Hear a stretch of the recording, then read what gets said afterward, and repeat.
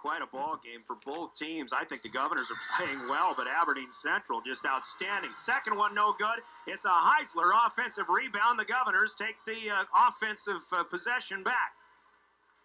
Mayer will set it up. Left side. Barr goes after a steal. Now it's Heisler from Jacob Mayer, who kept the dribble alive. He feeds under.